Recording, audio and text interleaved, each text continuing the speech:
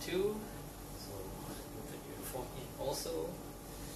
And then uh, this.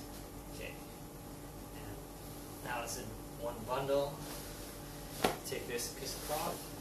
My piece of cloth is 150 cm by 150 cm, but it could be any other size, it's up to you. I use a thick material from IKEA.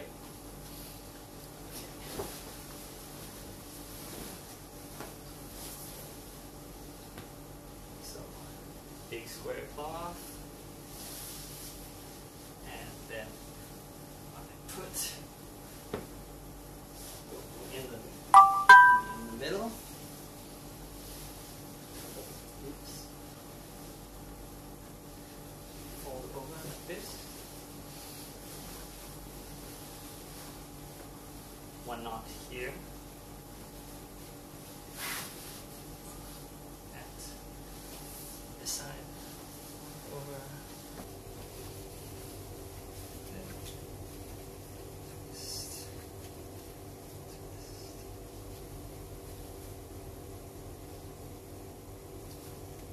These two here.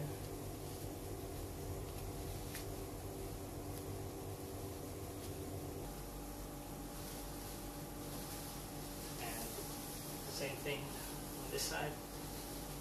This twist. Up to you whether you want to twist it or how much you want to twist it.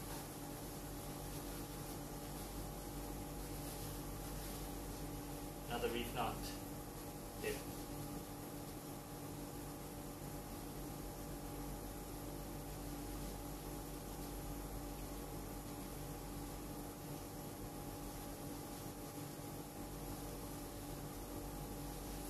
Okay. Tight.